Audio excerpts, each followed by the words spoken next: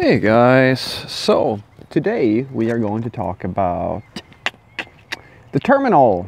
So let's get into it. Now, terminal, shell, these sort of things. What am I talking about when I talk about the terminal? Well, to keep things a little bit simpler and as basic as I can make them, depending on the machine that you are on, you will have different types of terminals. And let's just talk about that. So for basically win a Windows machine, you will find it under the command prompt as the command prompt, where you can enter. Basically, it, op opens up a little black window, where most likely it's going to say something like C colon something something, and then you can uh, type in some commands. And the same thing goes for Mac and for Linux, basically, where you have this idea of what we call a shell. Now, a shell is just an interface now, what is an interface? That's also a good question. Well, an interface can be many, many things. But in the context of this little talk, a interface or a shell is just a program that you use in order to execute commands on, on the operating system, basically. You can think of it this way.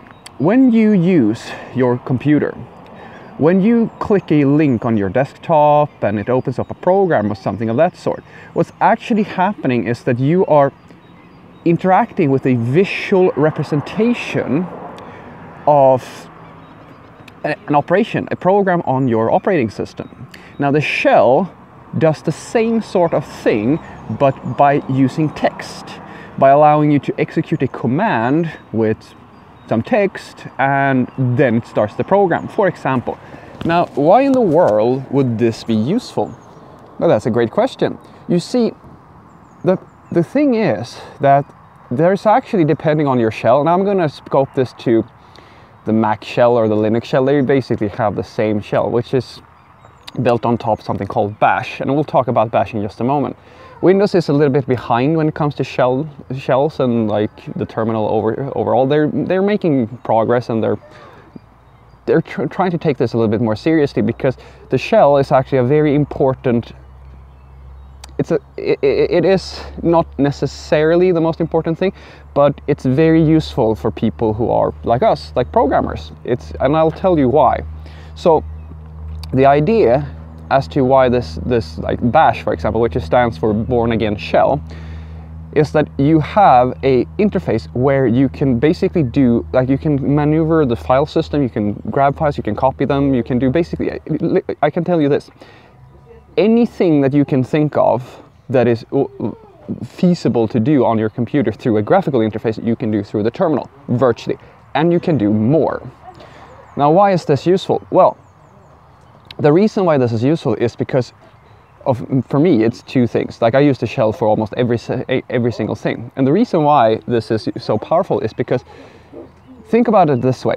When you need a graphical interface, you literally have to open up a bunch of boxes, you have to maneuver through all the controls and all the menus and so forth and so forth.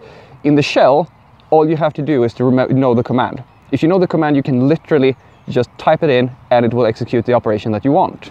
So, although it's not as user-friendly, it's very powerful for what we call power users. Now, what is a power user? A power user is a non-standard user. And if you are a programmer, you are a non-standard user. A standard user is a person who just has a computer in order to do normal things, surf the web, watch videos, that sort of thing. But you are a programmer. So your use case is a little bit different. And the reason why I think you should have a look at the shell and actually learn it fairly well is because if you work in web development, for example, or networking or anything of that sort, it becomes very powerful and very useful to use the shell because it's very common that you use something like SSH, SSH like secure shell, to connect to other computers on the internet in order to execute commands in their terminals or in, through their shells. So what's so powerful about Bash is that it's a it's basically an industry standard. I mean, I can tell you this right now. You as a junior may not know this, but the the Linux shell is it's virtually a standard across like uh, it, it, Windows is Microsoft's products are, are an exception, but for the most part, the way that you interact with remote boxes is going to happen through the terminal. So it's actually very useful for you to learn the terminal and make it your own because there's a lot of stuff that you can do to make it custom and you know create your own aliases and like your own short commands. It's actually a great deal of fun to learn the shell. It, it's tricky in the beginning, but once you know it and you know the commands and you understand how it works, you can actually work much faster than you could with the graphical interface for the most part. Now, there is a little bit of a learning curve to this, but trust me, if you invest the time to learn Bash, it's going to reward you a lot. You will find that you can do shell scripting, for example. You can automate entire workflows. And as I said, most of the time when if you work in DevOps or operations or anything like that, this is an extremely useful skill to have. You're, trust me, I'll, I mean, I can give you an example. Like I use a MacBook. I don't know a lot about the operating system, but I don't have to because I use the shell. And the shell is going to be universal. I can go between a Linux and a Mac almost as fast as I, uh, without any problems because they use the same type of shell structure.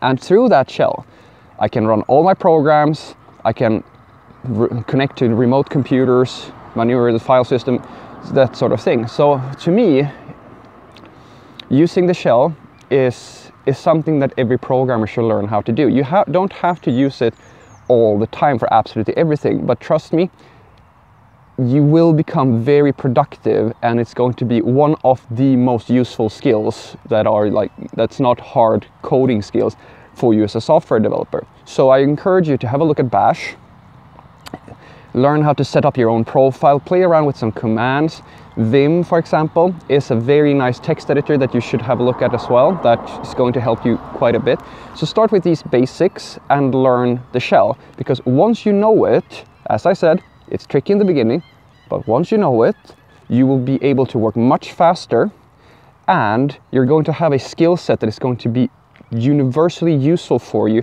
for the rest of your career. Have a great day.